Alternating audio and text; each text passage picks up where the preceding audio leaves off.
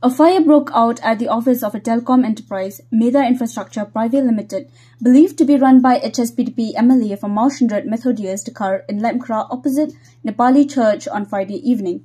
Confirming the incident, East Khasi Hills Superintendent of Police Dr. Raghavendra Kumar MG said, We received information at around 10 pm and the same was forwarded to PCR for deputing fire trucks. The building was under attack lock and key when the incident happened. The fire has been doused and no casualty was reported. The cause, however, is not known but formalities have been observed, Kumar added. In another incident, the residents of Alvin Sawkmie, an NPP candidate from Mawsynram who lost the election to UDP's Ollan Singh Suin, was attacked by masked men in Cliff Colony at around 8.30 pm.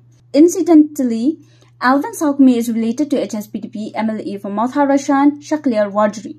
The incidents took place hours before two HSPDP MLAs extended their supports to NPP to form the government.